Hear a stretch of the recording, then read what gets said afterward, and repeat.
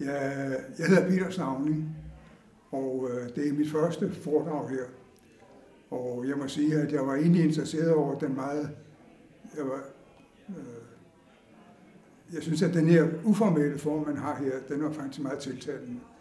Og jeg har fået et, et virkelig fint indtryk af Pia Olsen Dyr, som en engageret politiker, øh, helt ned på gulvet, meget inspirerende, øh, meget morsom at høre på, meget energisk, med missioner og visioner.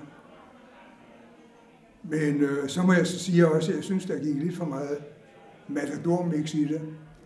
Fordi øh, det var mere koncentreret om vores egen lille verden.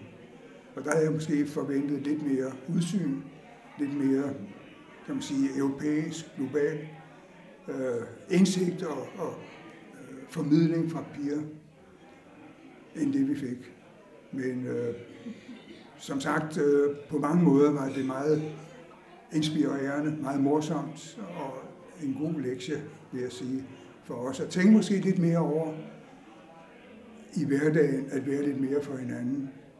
Øh, måske droppe de lidt højflyvende ting, og øh, måske bare tænke i det nære. Hvad kan vi gøre for dem, vi har kær, for at, at gøre livet lidt bedre for dem?